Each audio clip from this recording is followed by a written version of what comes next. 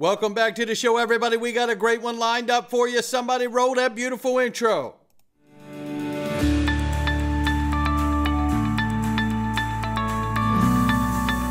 Digital Perspectives with Brad Kimes. Come on in.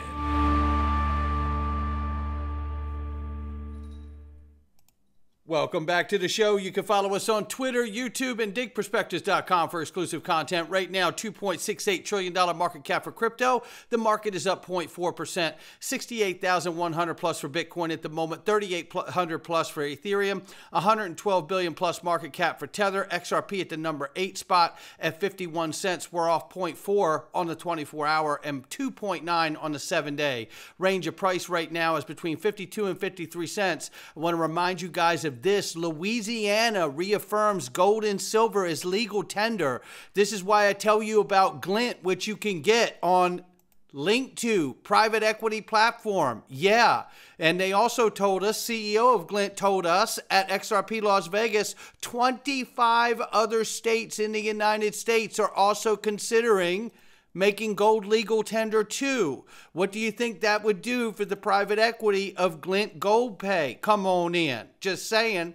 And what do you think it'll do to you if you decided to go buy physical gold right now at 2300 bucks an ounce? What's it going to be a year from now? Look, I tell you these things because first of all, at Miles Franklin, all you have to do is put in the email info at milesfranklin.com, put dig gold, DIG gold in the subject box for the best prices on all the medals and offerings that they have on the website. That's all you have to do is send it to them and tell them I said to come on in. Right here, we see what's going on. Again, the contrast in the industry. And why is it everyone has such a time bringing up the fact that Ripple has championed the fight against the SEC? They're the first ones to take up the fight in the real way and win for the entire industry, not just for Ripple and XRP. Take a listen to this from Kraken's representation. I think the most recent filing was to again try to dismiss the case altogether ahead of your hearing on June 12th. How are you feeling about uh, the status of all that? Look, this is a case that never should have been brought. It was about one year ago I testified on behalf of my client, Kraken, that the SEC would have to share the jurisdiction it was claiming over crypto with other federal agencies, the, like, like the CFTC. We don't think they like that because exactly one day later, almost down to the hour, we got the call saying they were going to sue us. We don't think this is a case that ever should have been brought, and as a result, we're moving to dismiss it. Um, we put in our moving papers a little while back. The SEC responded. We had one last chance to reply. Now the case is fully briefed. So uh, in a few weeks, we'll go in front of the judge of the Northern District of California, and we'll make our uh, we'll make our, our oral arguments. We'll actually argue before the court uh, the, uh, the same things we argued in our moving papers.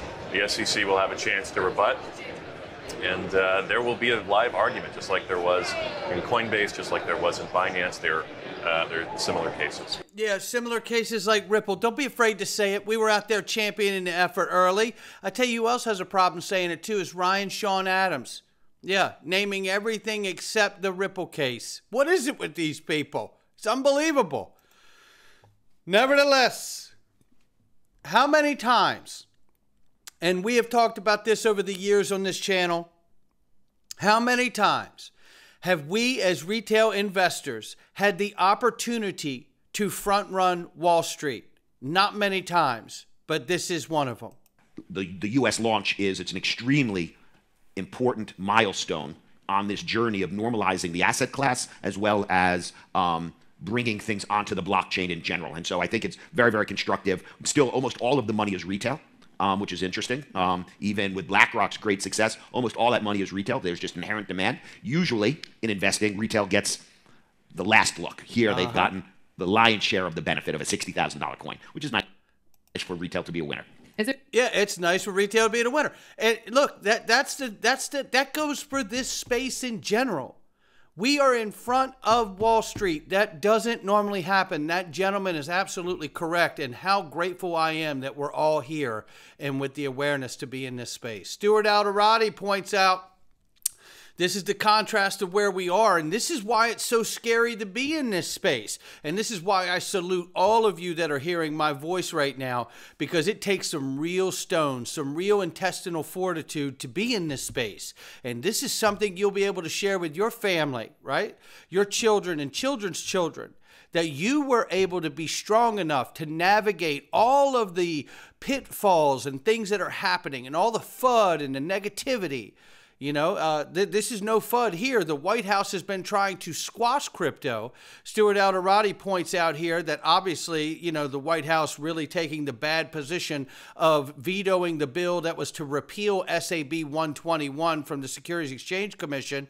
Stuart Alderoty highlights I'm no political savant, but alienating the 20% of voting Americans that own crypto five months before the election seems like a losing move. It sure does. And it really really is the kind of thing that makes a lot of people scared to come into this space, but we're here. And then I want you to hear this too, because this is Chris Dixon here at Consensus. Talk, listen to this. This is because of bad policy, and I, and I, okay. I, I could argue this very effectively because I do it day to day, which is the people building utility are the ones blocked okay like this is what is so incredibly frustrating is that the people that exactly when you get in trouble is when you add utility according to the current thinking of regulators okay? And so you're actually incentivized to do something like a meme coin. By the way meme coin i mean one that has absolutely no utility because people say different things. I'm not anti meme coins all these crypto twitter thinks we are. I'm just i'm just i'm anti a policy that says that you can't do anything in addition to a meme coin, which is the current policy. And I know that because, you know, I can't, God knows how much we've spent on lawyers and our team, our companies have spent on lawyers and how many conversations I've had that are very frustrating. The default has become for most of these projects now to block the US. Like I, many, many projects now, they block North Korea, Russia, Iran, and the US. Like this has become the norm in the space, which is just, I just think is absolutely uh, tragic. And you know what? There isn't many times I'll agree with Chris Dixon, but this is one of them. And this is an uncomfortable truth that many in crypto don't realize yet. And it's what, if you are an XRP holder, a Ripple shareholder, you absolutely understand this. At the point the regulators have let most of the scams thinking like Phoenix Fire token scam and tokens with no utility, such as a meme coin, run wild while they attack those with real world utility. This is exactly right from DAI and Chris Dixon here because it's exactly what's going on. But you know what? The prescription is about to be flipped. They're going to flip this script because I think he's got it right here. Don't get caught chasing crappy green candles with no utility. The adults have tried to tell you over and over how this story ends. I think 99% of all crypto probably goes to zero. Brad Garlinghouse, pets.com was awesome until it wasn't. That's DAI. And you know what? Um, and maybe it was Brad Garlinghouse too, but I know this. Uh, I know this. This is spot on. This is spot on.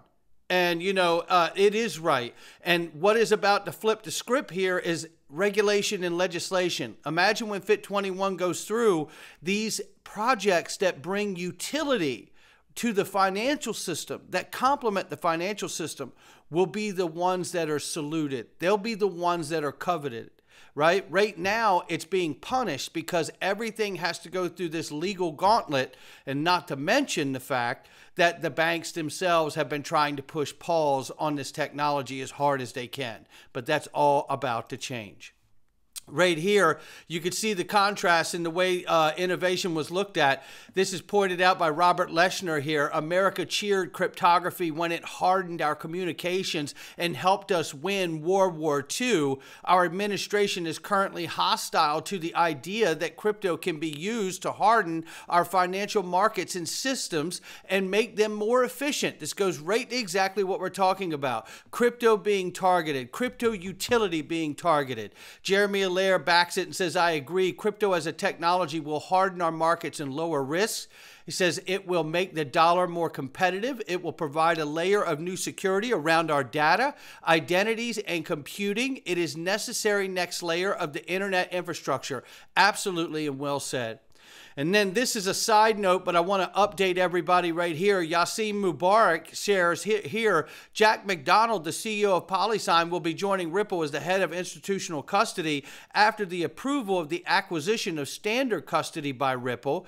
He goes on to say here that he's told by a trusted source that as soon as Ripple's acquisition of the standard custody is approved by the regulatory authorities, which should happen within one to two weeks, both Ripple and PolySign will issue a joint statement as to the future of standard custody and PolySign. And I'm excited to hear about what that may be because, like you, if you are in PolySign, I have a huge position in PolySign and would love to know what the future looks like, good or bad. So let's get to it. And then I want to remind people of this from Standard Chartered Zodia Custody. Ripple Custody Partner announces staking deal with Fortus.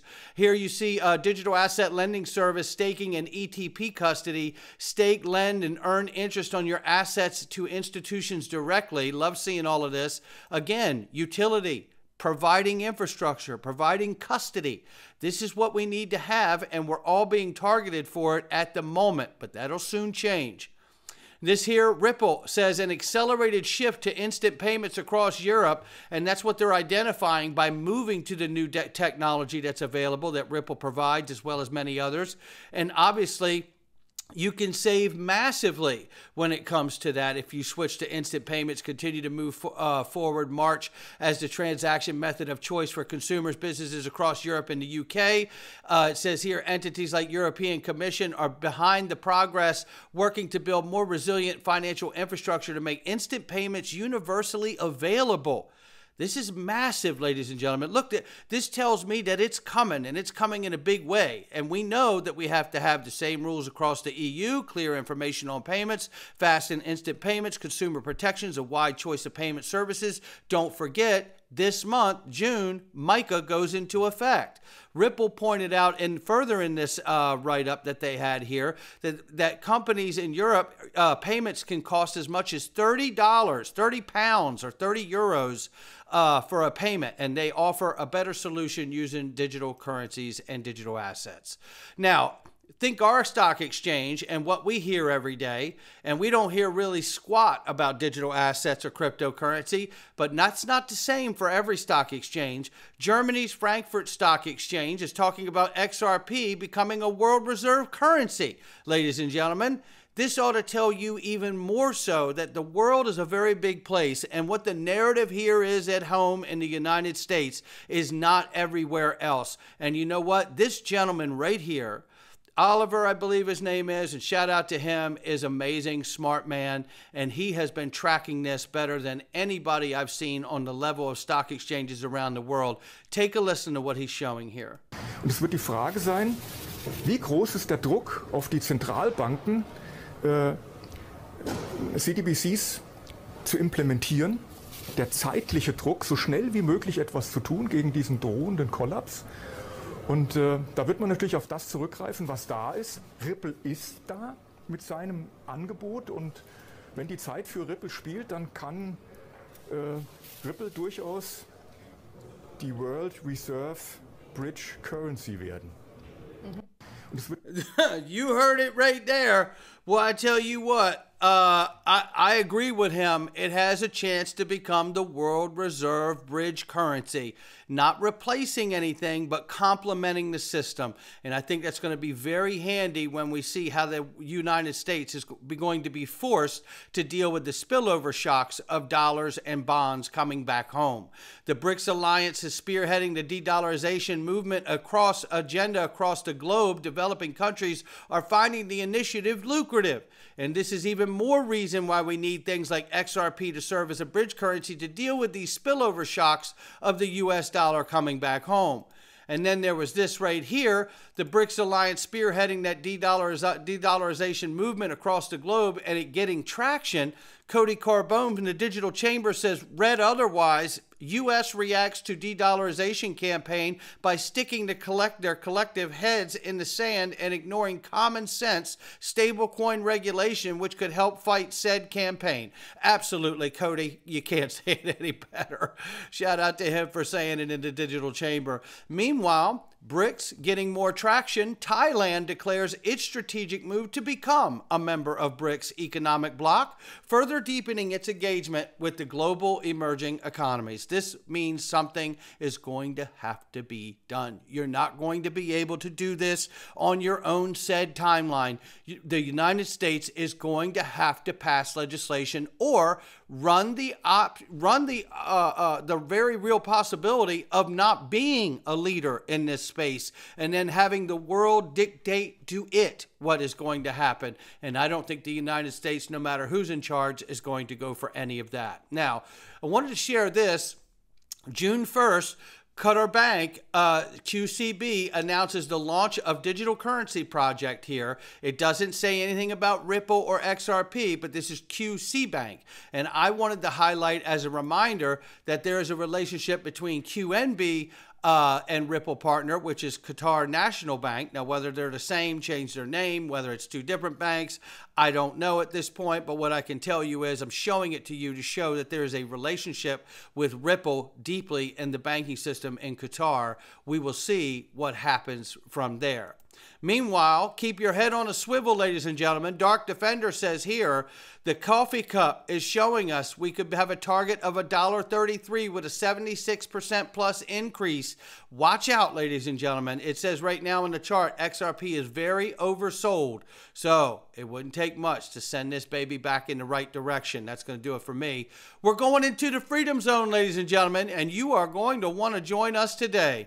I tell you what, there is so much evidence going on about where this world is headed, and it's a very dark place. But we're going to show it to you inside the Freedom Zone because it's the safest place to do it, and it's a VIP conversation happening in there as well. You can join the Freedom Zone at digperspectives.com or the link underneath the video, digperspectives.com. Click this video, click this uh, button for the Freedom Zone, join for next to nothing next to nothing.